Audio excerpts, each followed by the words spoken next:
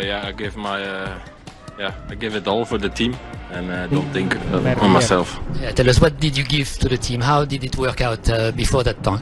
Um, yeah, we did a great job. I think we, we lost some seconds in the beginning, um, but then we make everything yeah uh, well in the end, and uh, we can be really happy with this uh, with this win.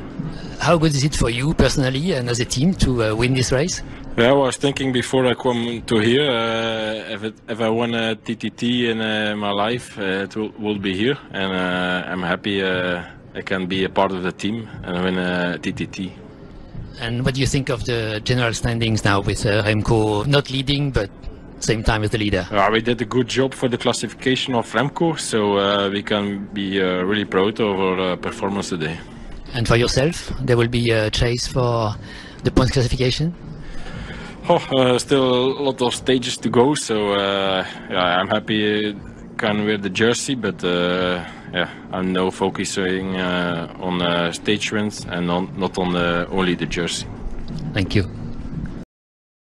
Bueno, ahí teníamos la etapa número 2 del Tour UAE, Tour de los Emiratos Árabes. En primer lugar, Quedó ganando la etapa el Saudal Quiestet con 18 minutos 17 segundos. Segundo lugar para el Education AC Pots a solamente a un segundo nada más. Tercer lugar para Líneos Grenadiers a 3 segundos. Cuarto lugar para Barean Victorious a 4 segundos.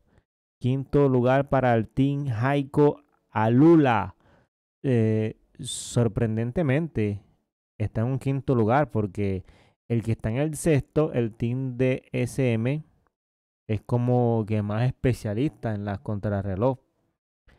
Séptimo lugar para el Bora Hasgro a 15 segundos. Ah, bueno, fíjense, el team de SM había quedado a 10 segundos. En el octavo lugar, el UAE Team Emirates a 16 segundos. Noveno para la Astana Kazajistán a 17 segundos. Y el Trek Segafredo a 19 segundos. La etapa número 2 que ha sido ganada por el Soudal Quiestet.